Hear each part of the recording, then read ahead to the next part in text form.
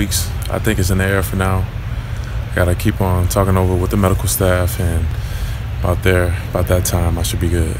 Well, just just like I said, you know, I just want to stay in tune with what I can control and the things that I want to accomplish. If I think that I'm there, then I stay content, and therefore I don't try to get better. But if I feel like I got a long ways to go, then I still improve, and I want to still keep that mentality because I don't know how I'm going to fit. So I just do everything I can in my will to do what's right for me and the team.